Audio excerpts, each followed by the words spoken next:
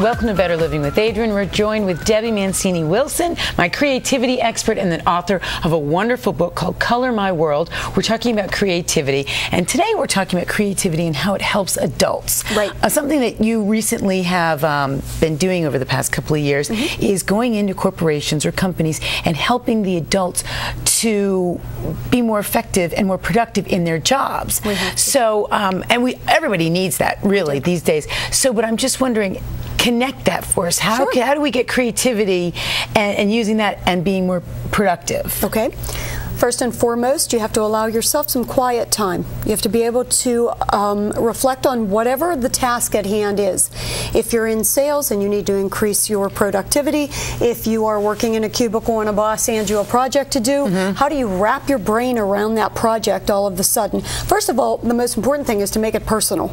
You have to find a way to make it personal. Okay. Because everybody just wants to know, well, why should I care?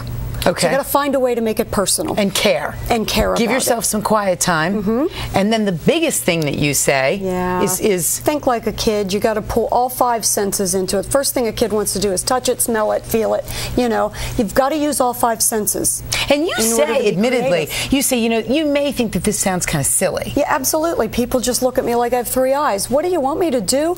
But once we start the exercises and they see that they are, you know, the world's the corporate world is a lot different than it used to be. First of all, you know, that we have less people doing more jobs. Mm -hmm. So we can't just stay in our niche. Mm -hmm. We have to be creative. Mm -hmm. In order to be more productive. Absolutely. So think like a kid, allow yourself some quiet time, make it personal, mm-hmm. and all those things Permission can. to play. Permission to play, of course. Debbie Mancini Wilson coming up. More Better Living tips. We're joined with Adam Strumfeld from Joe Canal's and California's wine central for the United States. Napa and Sonoma, however, are not the only wine areas to visit when you're in California. Correct. You so, can fly into San Luis Obispo, which is the Central Coast. It's mm -hmm. located about halfway between LA and San Francisco. Okay. And very atypical of Napa and Sonoma. It's not a Cabernet region per se. They're really known for their Petite Syrahs, their Redzins, their blends.